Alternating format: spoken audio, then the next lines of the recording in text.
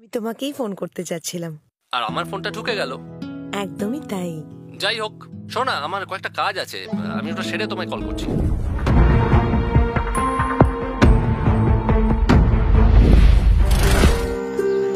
ও কবিতা! কি গো? সবার টাকা তো ফেরত দিলে। এবার আমারটাও দাও।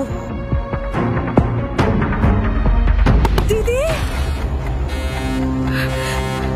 ও দিদি! দিদি?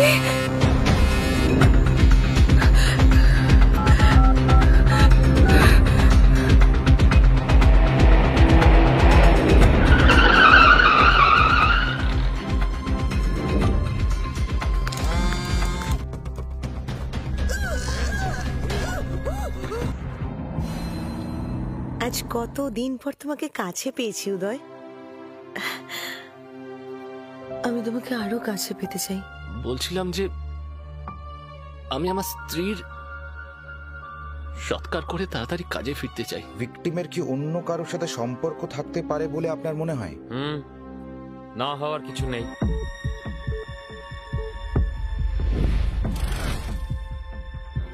দেখুন স্যার আমি এই সব চক্রান্তের সঙ্গে জড়িত নই। আর আর এই মেয়েকেও আমি চিনি না আর এই প্রোফাইলটাও আমার নয়।